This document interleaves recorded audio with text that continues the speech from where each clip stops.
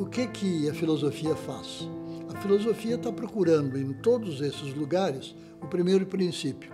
O grande princípio é a teoria de todas as teorias. Eu me dei conta de que para mudar o mundo tem que mudar o homem. E para mudar o homem é necessário compreendê-lo nas suas maiores profundidades. Filosofia e psicanálise na perspectiva de dois grandes nomes do cenário intelectual gaúcho.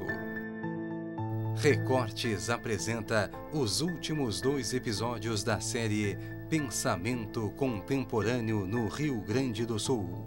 Neste sábado, duas e meia da tarde.